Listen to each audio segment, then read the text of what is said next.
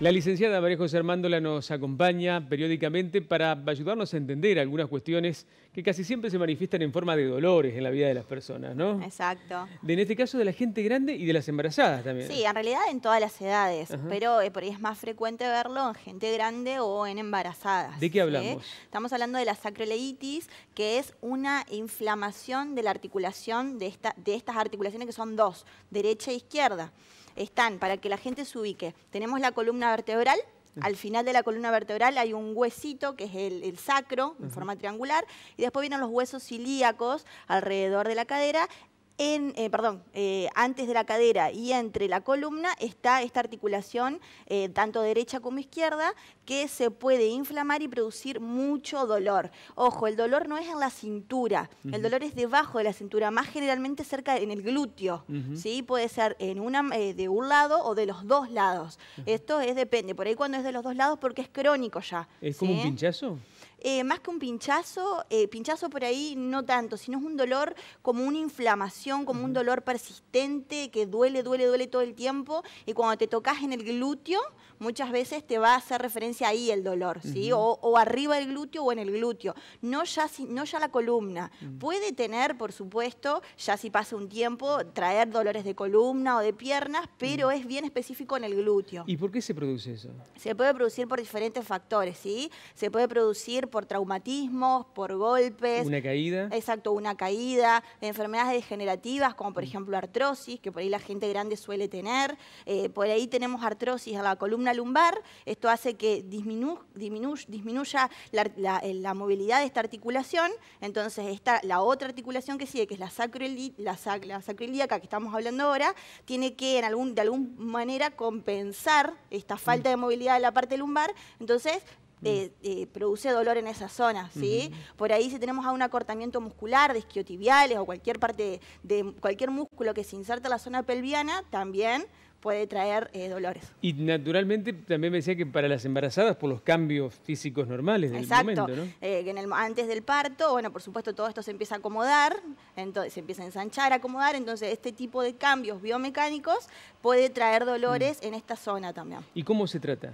Bueno, tenemos un montón de tratamientos en el consultorio. Lo importante es que primero vaya al médico. El médico mm. con diferentes maniobras la va a poder diagnosticar para ver si no es una falsa asiática, que también se puede confundir, si no es una lumbalgia, sino que si es realmente esa patología el médico la diagnostica, la manda al consultorio y en el consultorio tenemos, depende, si es una persona joven, es una persona grande, si es una persona que por ahí ya hizo una, una enfermedad crónica, se hace ondas de choque, ¿sí? que cuando ya es crónico, es onda de choque, anda muy bien y se hace una vez por semana.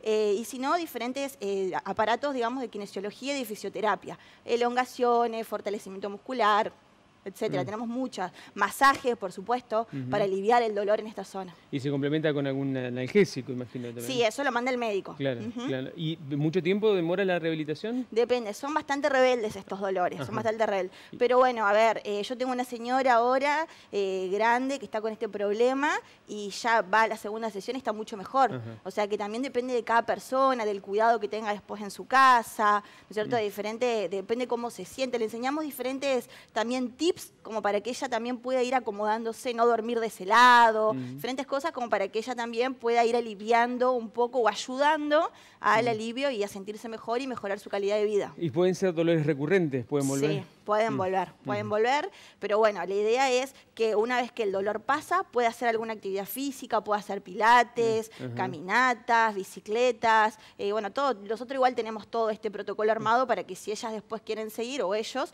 quieren seguir, puedan seguir ir con nosotros, eh, con profesionales de la salud, haciendo actividades físicas cuidados. Y a veces hay que llegar a una instancia como esa, ¿no? A un dolor, a una situación de que, que, lleve a la consulta para después darse cuenta de lo bueno que es y de lo que previene hacer actividad física. Exactamente, y actividad física por ahí eh, que esté regulado por un profesional de la salud, entonces el profesional puede ver los estudios, puede ir haciendo un seguimiento, puede tener por ahí eh, una, un consejo un poco más exhaustivo acerca de lo que puede o no puede hacer ese paciente, porque no todos los pacientes pueden hacer todo. Mm. Eh, cambiando el ángulo de información me acordé de algo ahora que dijimos de dormir. Eh, te hice caso y duermo boca arriba. Buenísimo, y te sentís mucho mejor. Me costó mucho, ¿eh? Sí, sí, sí. Me costó mucho, pero... Es un hábito, es como todo, es de a poco, como yo le digo a los pacientes, porque por ahí también llegan al consultorio y me dicen, ay, no, pero yo boca abajo, ya duermo hace 20 años. Bueno, de a poco ir cambiando, de un costado al otro, boca mm. arriba, una sola almohada, y te, realmente te cambia, te cambia completamente los dolores. Es muy complicado, porque yo de los 35 años de vida que tengo dormí siempre siempre boca abajo. Ahora duermo boca arriba duermo mejor. Bien, y aparte ahora que vas a Pilates al consultorio también te está haciendo bien. También debe ser eso, toda una combinación de cosas. Este, Eduardo se ríe porque cree que es el único que va a Pilates él. No, hay un montón de personas que van a Pilates, no es el único. No, no, podría, no podríamos seguir. No, claro, seguro, no sería negocio. pero les aconsejo, si duermen mal, duermen de costado, boca, ¿cómo duermen ustedes? ¿Duermen boca abajo, boca arriba? ¿Boca abajo? No, muy mal, muy mal. Tienen, tienen que dormir boca arriba, porque... ¿eh? ¿Te, dormís acostado y... ¿Amaneces con? el, hombro, duro. Ah. Porque apoya todo el peso sobre el hombro. Claro, mira ¿Y babeado? Lo que pasa es que el tema del alisado ahora me, lleva a quedarme ahí para que no pierda la caída. Qué no es fácil, no es fácil. Bueno, gracias por los consejos. Nos vemos la próxima semana. El lunes que viene nos vemos. El lunes que viene, ahí está. Anotale un turno para el lunes que viene.